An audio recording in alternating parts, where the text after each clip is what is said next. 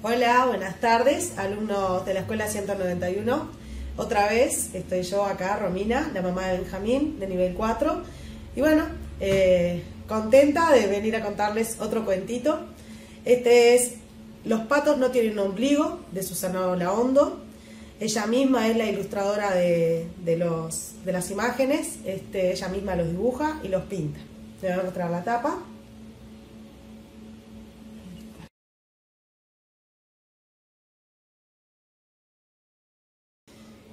Juli eran amigos desde chiquitos y lo que más les encantaba en el mundo era jugar.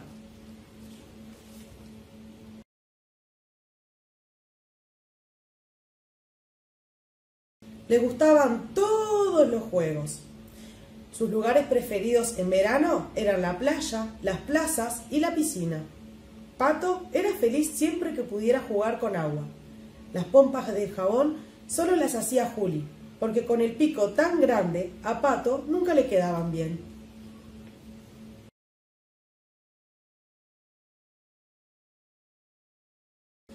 Juli tenía un baúl lleno de disfraces y sombreros. Se vestían de superhéroes, de piratas, de payasos. El disfraz de fantasma era el más fácil, pero siempre se enredaban. Los libros lo divertían mucho y siempre los miraban juntos. Pato no sabía leer todavía, Jugaban a la pelota y con animalitos. También con la computadora, pero solo un rato.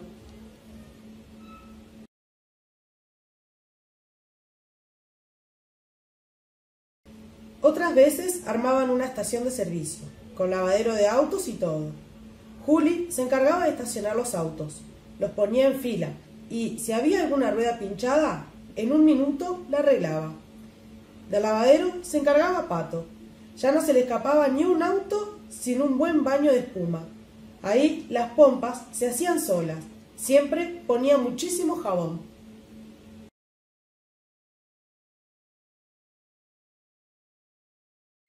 Un día a Pato le tocó hacer de doctor. Juli esperaba pálido y con cara de susto sentado en un banquito.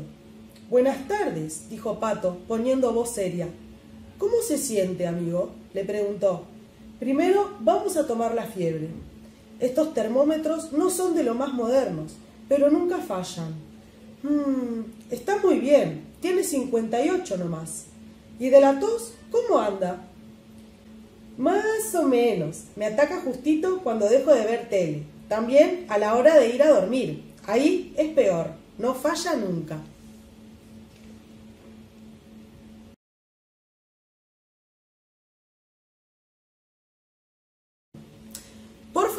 Le dijo a Juli, súbase el buzo, que voy a escuchar el corazón. Y Pato escuchó el corazón. Bum, bum, bum, bum, bum, bum. Asombroso, muy buen ritmo, dijo Pato, siempre mirando para arriba. Y justo en el momento en que Juli se bajaba el buzo, fue que lo vio y gritó.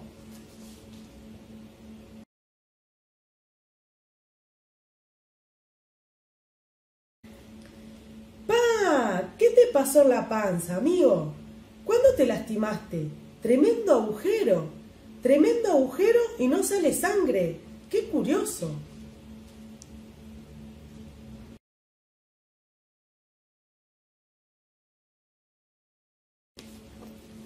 No seas ridículo, pato. Es el ombligo, respondió Juli, medio enojado. ¿Om qué? ¿Ombligo? Pato miró la panza de Juli y después su panza, otra vez la de Juli y otra vez la suya. Revisó bien entre las plumas y, por más que buscó y buscó, no vio nada. No me digas que recién te das cuenta, los patos no tienen ombligo. ¿Eh? Y así nomás me lo decís. ¿Y vos para qué lo usás? El ombligo no se usa, está ahí, quietito nomás, y lo tengo desde que nací. Es la huella que me quedó por haber estado en la panza de mi mamá. Pato no entendía nada. En la panza, adentro, adentro, dijiste. Debía de estar muy oscuro, ¿no? Entonces, ¿vos no picoteaste el cascarón para nacer? Preguntó con cara rara.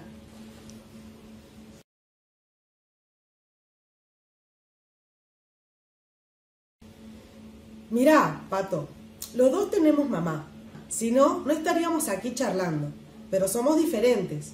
Vos naciste de un huevo que puso tu mamá pata en un nido. Lo empolló, le dio calor, esperó muchos días y cuando vos estabas pronto para nacer, lo picoteaste, lo rompiste y viste el sol.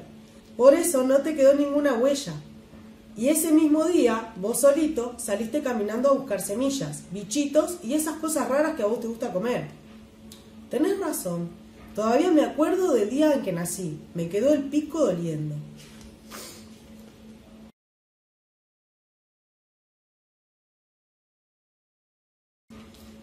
Yo estuve nueve meses dentro de la panza de mi mamá y no picoteé nada, porque ni siquiera tengo pico, dijo Juli. Cierto, ahora que te miro bien, vos tenés una boca blandita. Con eso no podrías picotear ni un algodón. Y mi cascarón estaba durísimo. Cuando nací era un bebito que tomaba leche de la teta de mi mamá. Fui creciendo de a poquito, demoré un año o más para aprender para aprender a caminar, a comer solo y a hablar mucho más. ¿Un año demoraste en caminar? preguntó Pato sorprendido. Mirá que resultaste lento.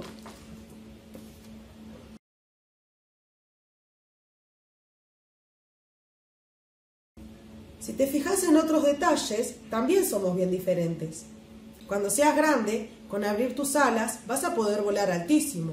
Yo, por más que mueva mis brazos, no voy a ninguna parte. Para volar, tendría que subirme a un avión o a un helicóptero, por ejemplo. Clarísimo. ¿Cómo vas a volar sin alas? aseguró Pato. ¿Sabías qué? dijo.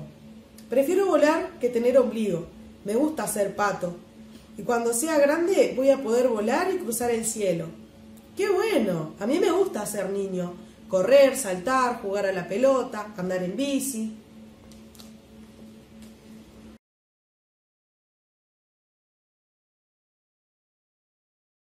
Pa, tenés razón. Somos bien diferentes. ¿Y cómo podemos ser tan amigos? Porque ser amigos no quiere decir ser iguales. Con quererse mucho alcanza. Y eso es lo que nosotros venimos haciendo desde que nos conocemos. ¿O vos no me querés tanto como yo? le preguntó Juli. ¿Qué pregunta más pava? Al final me dejas tranquilo. Con esto de las diferencias me estaba empezando a entreverar. Está bueno esto de ser diferentes y tan amigos. Tenemos mucha suerte, ¿no? dijo Juli. Muchísima, respondió Pato. Somos lo que se dice dos tipos con suerte.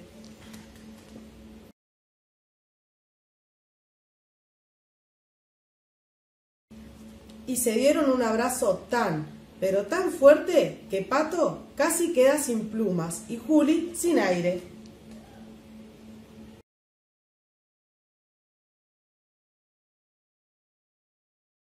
Bueno, y colorín colorado, este cuento se ha acabado. Bueno, lo que sí, les voy a dejar una tarea. En el primer cuento no les dejé ninguna, pero en este, este me dio para pensar un poquito más. Y quiero que, que también vean las diferencias entre sus mascotas y ustedes.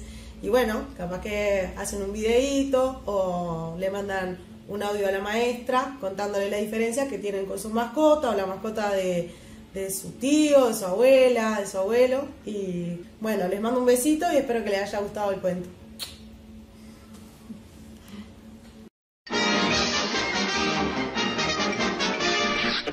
Eso es, todo, amigos.